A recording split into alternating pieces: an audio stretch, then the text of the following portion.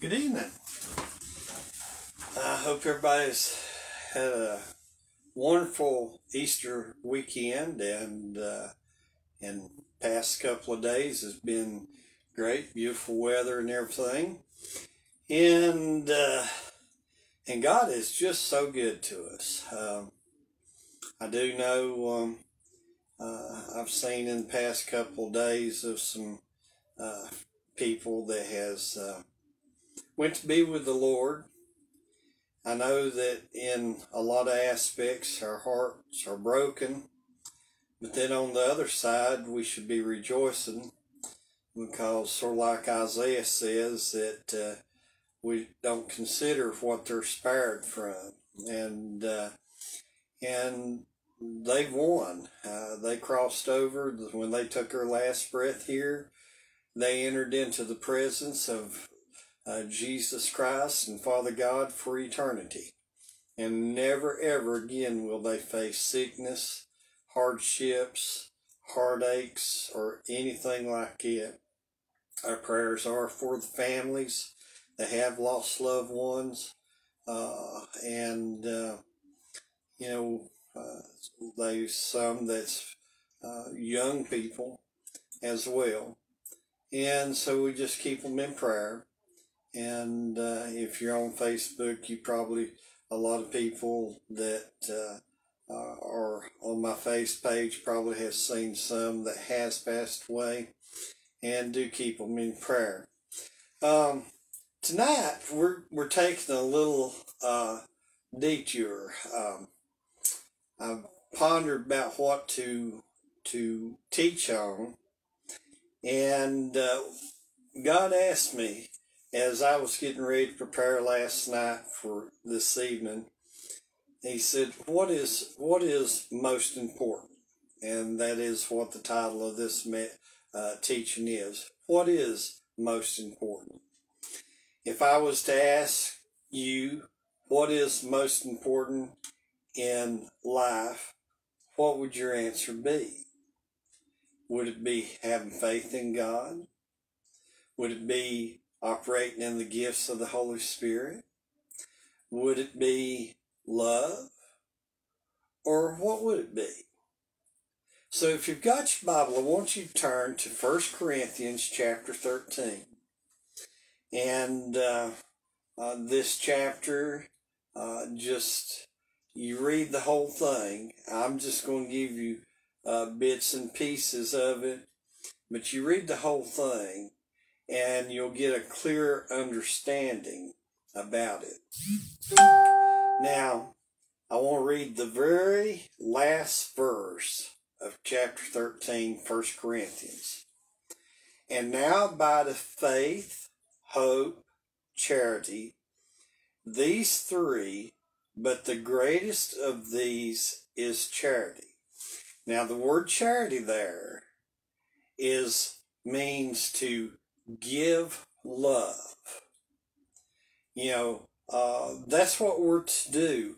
It, it, when we celebrated Easter or Resurrection Sunday uh, this past Sunday, uh, God was expressing His love for humanity through what Jesus did the selflessness, the sacrifice. Even Jesus, when he's on the cross, he said, Father, forgive them, they know not what they do. And they didn't. But it had to be done. And that is the greatest love. Love is the one thing that will never end. While everything else will, there, there'll come a time when prophecy or prophetic speaking or teaching, it's going to end. There's going to come a time when uh, healing will end. Nobody will ever need a healing again. There will come a time when there won't be no needs of miracles. They'll end. There will come a time when tongues and interpretation of tongues won't be necessary. We'll all speak the same dialect, have the same understanding. But the one thing that will be needed from this moment throughout eternity is love. Uh, you know, God's love is agape, A G A P E. It is unconditional love. Uh, John said, uh, God loved us first uh, because we, unless we understand the Word of God, we really don't have an understanding of what love is. And that's the problem we have with people uh, today is they fall prey to the devil and he will pit one person against another person. You look at all the different denominations and they all got the same Bible. Let's just say uh, the majority of the churches used to, the only flavor was uh, the King James. And of course, now you have the New King James, you have the NIV, the NLT, the uh, NSAB, and uh, uh, I mean, the list just goes on and on and on. And like denominations, why is there so many different denominations if we're all reading from the same Bible? We all should have the love of God in us. Love covers multitude of sin. Love will reach down and help somebody that's down instead of kicking them while they're down. We're, we're not trying to enable somebody, but we will help somebody to get on their feet because we all need some encouragement every once in a while. It made me think of that old of a song that uh, was probably played when I was just uh, a young kid. And I don't remember whether it's Barbara Streisand or who it was that sung. I, I know it was a, a lady singer. And uh, it was what the world needs now is love, sweet love. That's the only thing that there's too little of. Well, that's more so true today than it's ever been. Because when you look around and you see um, people don't understand what true love is. Uh, you know, true love doesn't just say, well, I love you, but, but true love will speak truth even when it hurts. True love will never fail. True love knows how to speak and knows also when not to speak. Uh, I have watched over the years people say how they love God. Yet they can't love people. There's something wrong. Because if you love God, then God shows you how to love people. Before I turned to the Lord Jesus Christ, I was a husband, I was a daddy, but I did not know the love of God. And after I've accepted the Lord Jesus Christ, and He is still working on me uh, to to be the husband my wife needs, the the uh, father that my children needs, the grandparent that my grandchildren need, and showing them the love of God and showing how to put God first. I have watched divorces take place when both people say they love God, then if both people love God, how can they, and they, they took vows, they took an oath, for better for worse, rich or poor, in sickness and health, till death do you part. And, and I remember when Pastor Jerry Fouch was here, uh, uh, before I started pastoring. One thing that Pastor Fouch taught me was that him and his wife at that time, uh, she was uh, she was just super, super sweet lady.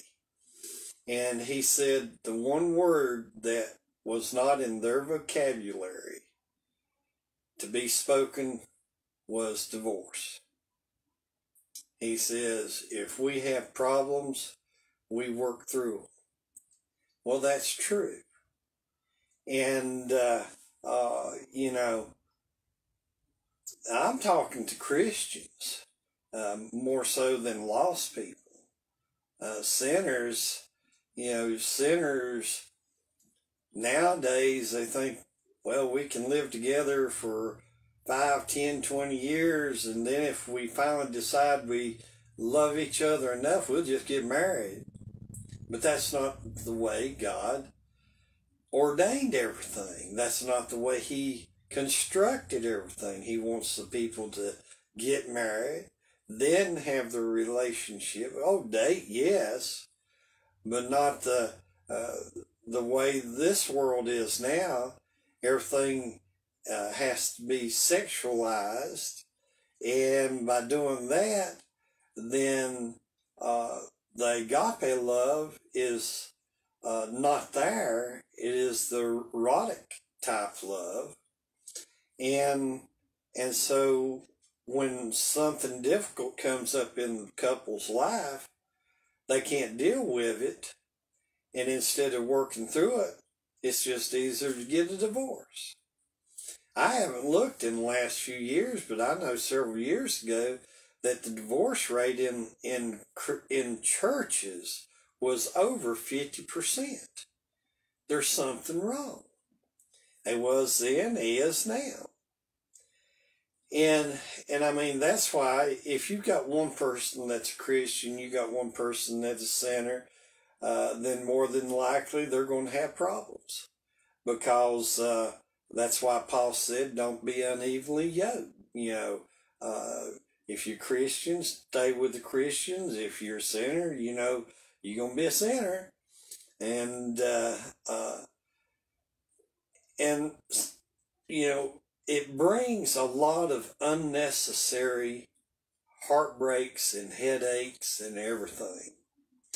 I look and I and I wonder, and I mean, in our area, it's not like it is in the big cities where you have uh, the places where there isn't the majority of the household is one parent, and it's usually the the the mother that's having to take care of the children. The father's either uh, doing drugs or in prison or shacked up somewhere else.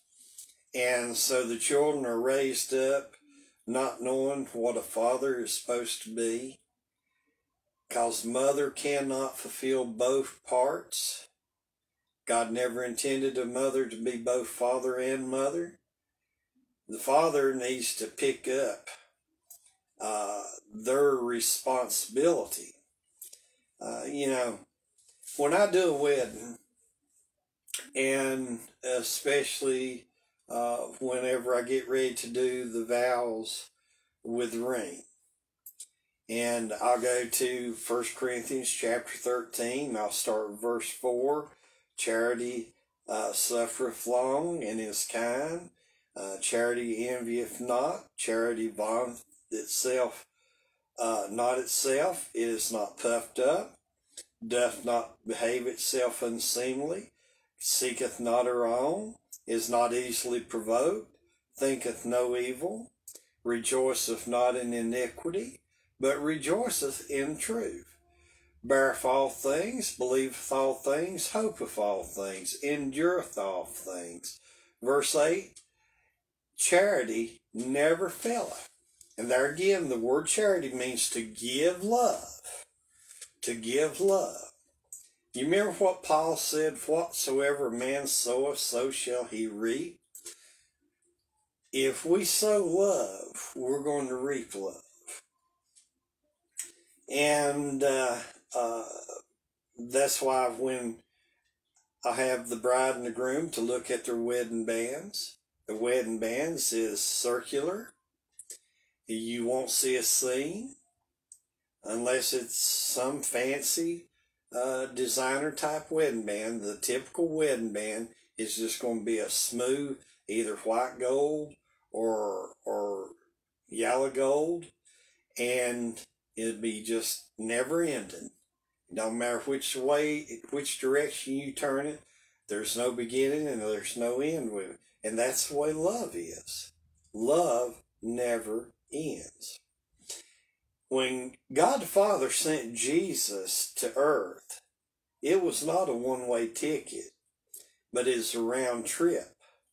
Jesus came and showed his love for people who abused him, who used him, who cursed him, and yes, who even killed him. But the grave, you know, uh, in the love in him was so much greater than the sin that he rose from the grave.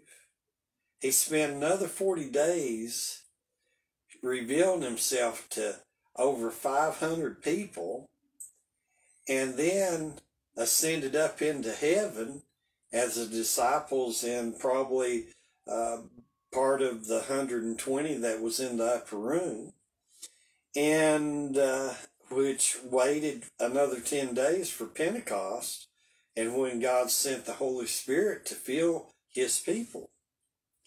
And yet, Jesus is getting ready to come back again. And he's coming back for his people. Well, who is his people? You know, we don't know what love is till we know God and we get in God's Word. Um, when a man knows God, then he will know how to love his family. He'll know how to love his wife, his children, his grandchildren. He'll know how to uh, have his priorities in order. Uh, he will teach his family how to put God first. Uh, there isn't going to be a question are, are, we, are we going to go to church? It is, we're going to church. And of course, if somebody's sick in the family, it's understandable. One of the parents stays with the child, that child, or if there's multiple children.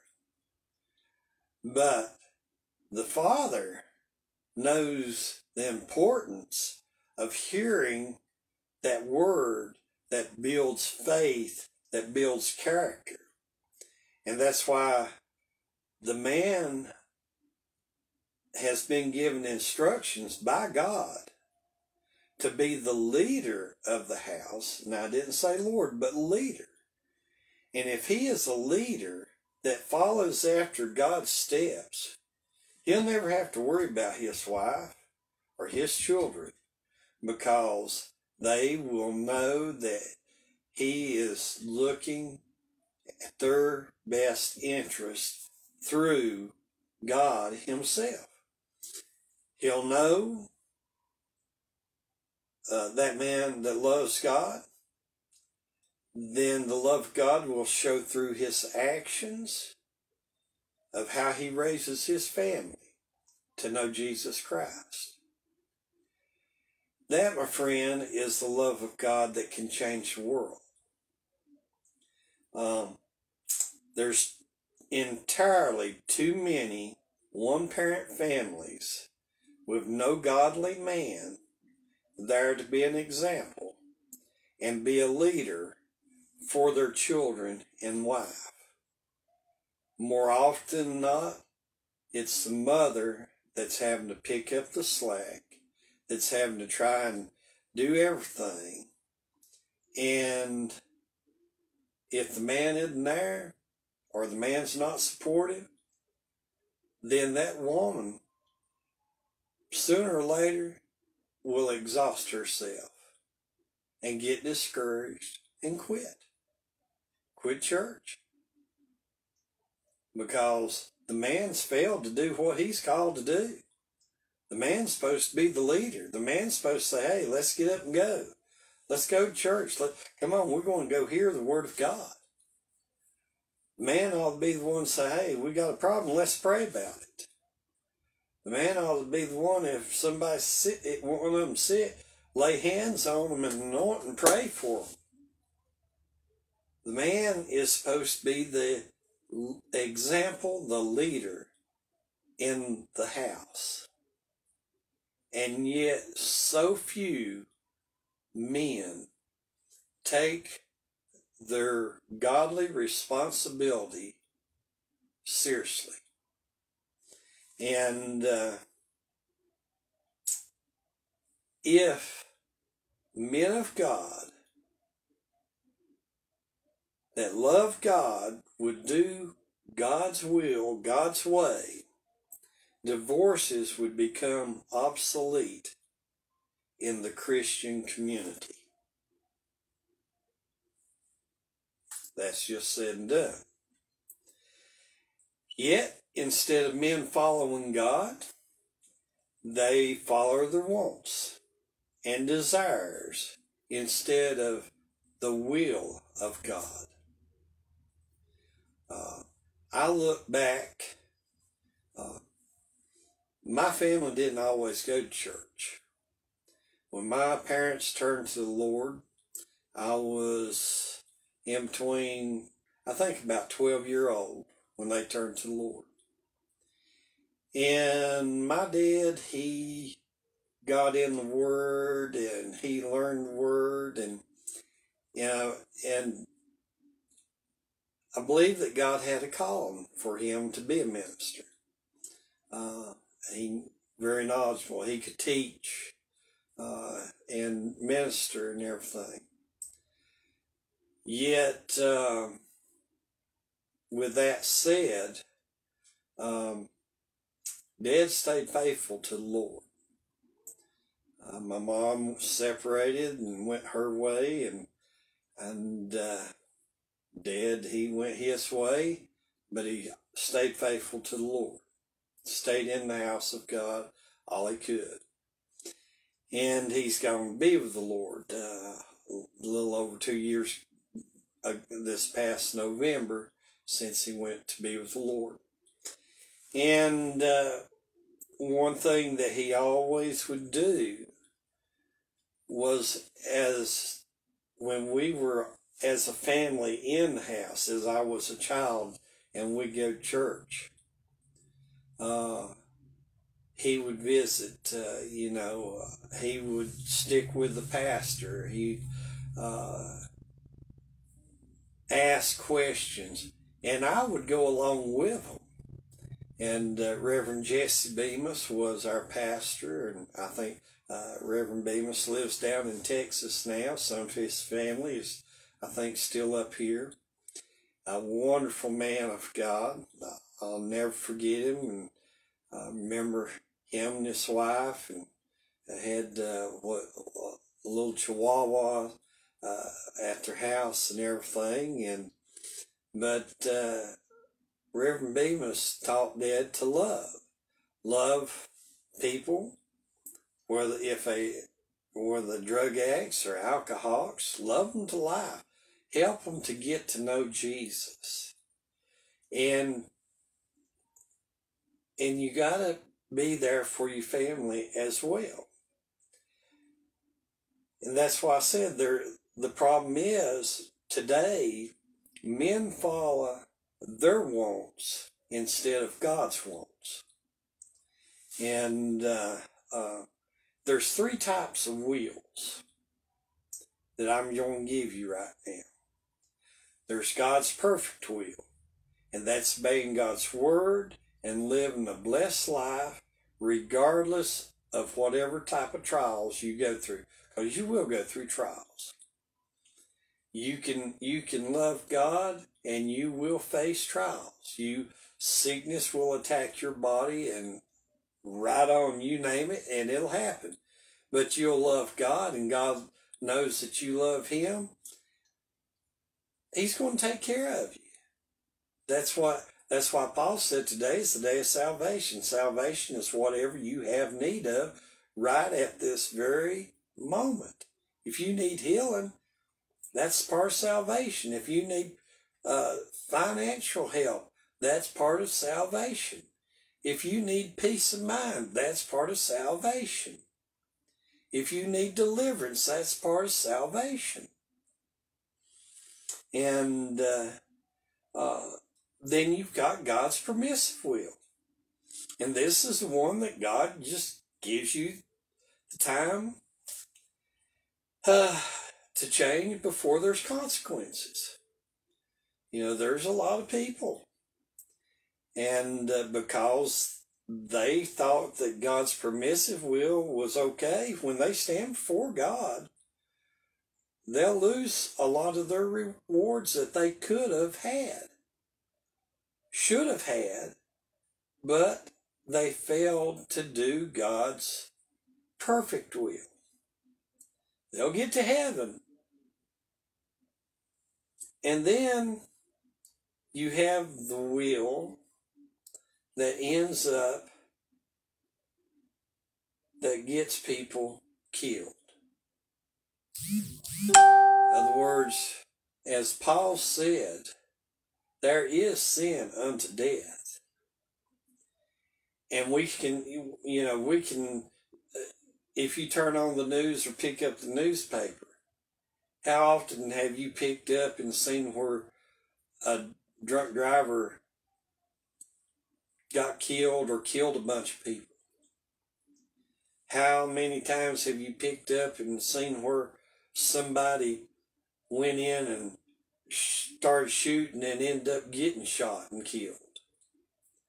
See, those, that's not God's perfect will. That's not even God's permissive will. That's when a person just totally gets out of all the will that ends up costing their life. And uh, and that's why, as we read there, um, let me back up to verse eleven. I'm going to read down through back through verse thirteen. Uh, when I was a child, I spake as a child, I understood as a child, I thought as a child, but when I became a man, I put away childish things. For now we see through a glass darkly, but then face to face. Now I know in part, but then shall I know even also as I am known. And now abideth faith, hope, charity, these three, but the greatest of these three is charity or giving love. And uh, let me see something. Amplified Bible. I'll do it real quick like. First Corinthians chapter 13. Amplified. Verse 13.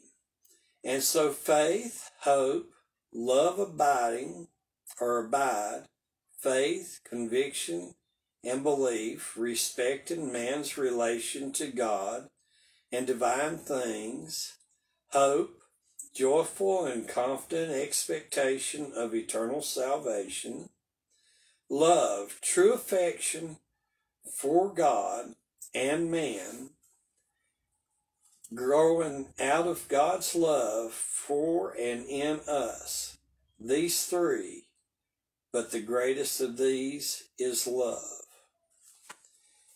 And that's why I've watched I've watched some of King and Country uh, gospel singers. Uh, and uh, I've seen some of their concert or when they was in concert on YouTube. And one thing that these uh, young men bring in is that they speak to the the young ladies that are there. They speak to the young men that are there. They speak about how the young men should treat a young lady and to show honor and respect And, you know, if you love God, you're going to respect your spouse. You're going to respect. You don't have to try to force respect.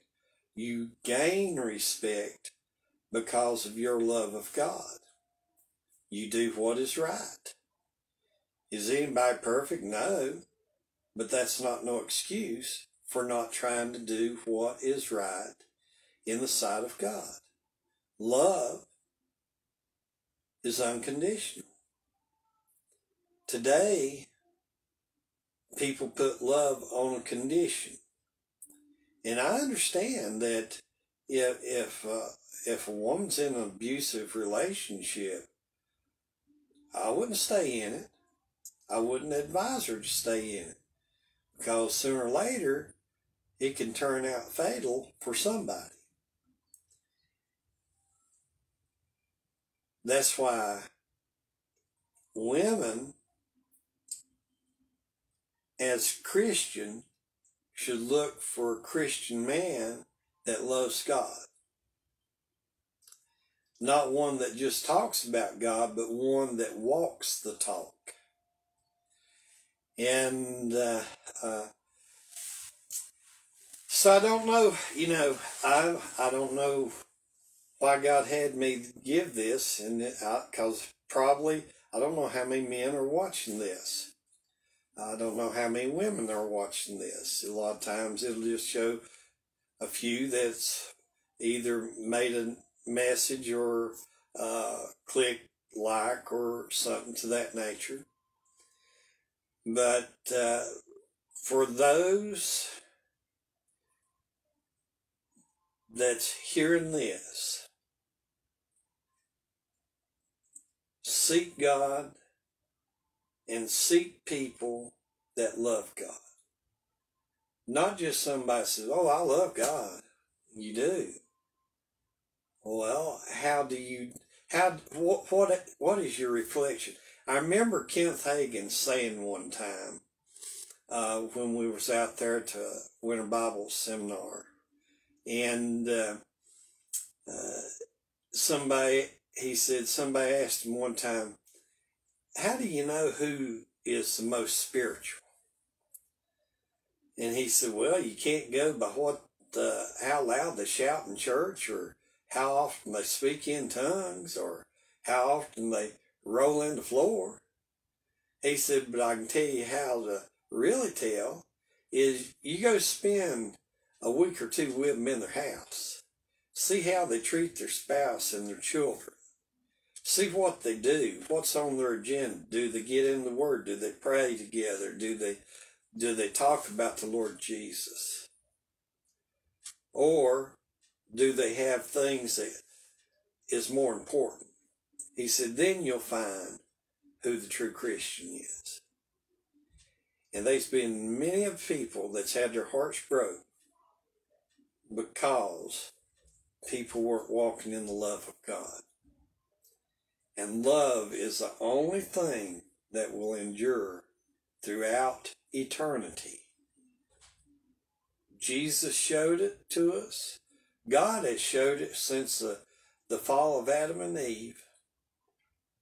So we know for almost 6,000 years, God has been trying to show his love to his people. And people fail to find the love of God. And I want the best for my family.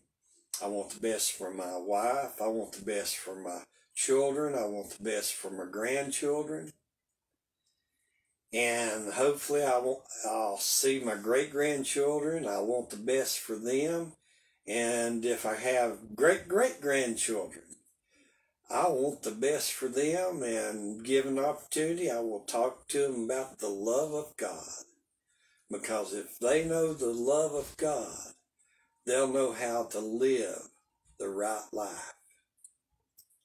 So I want to stop here tonight. Uh, tomorrow night, I can't tell you exactly what we're going to be studying. I don't know if we'll be back in this or if we'll go in a different direction. Uh, God's not told me that yet. I don't have uh, services lined up months in advance. Sometimes God has been known to change a message right before I get up to preach on Sunday mornings. And uh, I'd rather be obedient to the Lord than to miss the Lord and it may miss the person that it was intended for. I know there's been a lot of times I've had messages and and I even knew who the messages were for. And it was it was messages full of compassion and love and yet they weren't there. This before I started doing Facebook, so at least now I can reach more people. And uh, I have, uh, and, and say this, I remember it's probably been 15, 15, 18 year ago. I had a call and uh, family from uh, California was moving into the area. And uh, he asked me a question. What was the most important thing? And I'm trying to think in my mind now, what, what is he getting at? What, what is he talking about? And, uh, and of course I said, well, following the Lord is, is most important. He said, love. Well, that's true. And if you love God, you'll follow God. There's that that's a given. But love is what brings people together. Love is what will build a family. Love is what will build a church family. Love will, is what will build a community. Love is what will build a nation. And there's too little of it now. People know phileo love, er, uh, eros, erotic, brotherly love, but agape love, that unconditional love, that's the one that people struggle with. So, as always, I hope that this is something that will help you, encourage you. Uh, if you, uh, you know, I understand during these trying times of COVID and people are full of fear. Let me tell you something. God didn't give us a spirit of fear. He did give us a spirit of power, love, and a sound mind. A sound mind is knowing what you need to do. You know, if you're sick, well then stay home. Call, we'll pray. We'll put you on prayer list. But if you're not sick, then assemble together. Come together as God puts the church together. So let's just pray. And of course, if there's someone that's never accepted Jesus or someone that has uh, backslid on God, just ask God to forgive you right now. And let me tell you something else. There's a lot of people that won't go to church because they have watched people talk about God, but their life did not line up with God. They've heard about Jesus, but when they look at the people, they say, well, they don't go to church. Does church get you into heaven? Well, churches people start with. But we are to uh, not forsake the assembling of ourselves together. And if we love God, we'll understand that it is not a hardship, but it is something that we should desire to do. So, Father God, I just come to you right now. I know that, Lord God, this word is is probably hard for some to swallow. But Lord, you said the truth shall make you free. You shall know the truth, and the truth shall make you free. And it's a process, Lord God. I pray for each one that is listening. I pray that, Lord, that if there be any that is lost or turned from you, that right now they just ask for all their sins be forgiven. And that you'll just fill them with your precious Holy Spirit to live for you from this day on. And Lord, help us to walk in the, your love, to share your love, and to show your love. And so, Lord, I pray a blessing upon each one that is watching. And Lord, that you'll just use them in a great and mighty way to be an example of what it is to know the true love of the Lord Jesus Christ. And so, Lord, be with us, lead us and guide us. And we never know. Today may be our last day, or it may be a hundred years from now but that we walk in your love and be known by your love. And I ask this in the precious name of the Lord Jesus Christ. Amen and amen. Well, don't forget to tell people I'll post this. I'll be posting this on YouTube. Also, remember tomorrow evening, 6.30 and Sunday mornings, we invite you to come and join us at 11 o'clock or just slightly after 11. Uh, we're, we get started a little bit late, typically, but uh, love to have you come join us, be part of the family. And, uh, and in between now and then, may God richly bless you. Walk in the love of the Lord and just watch God do great things through you because of the love that is in you. And so, till later, shalom, God bless, and we'll see you then.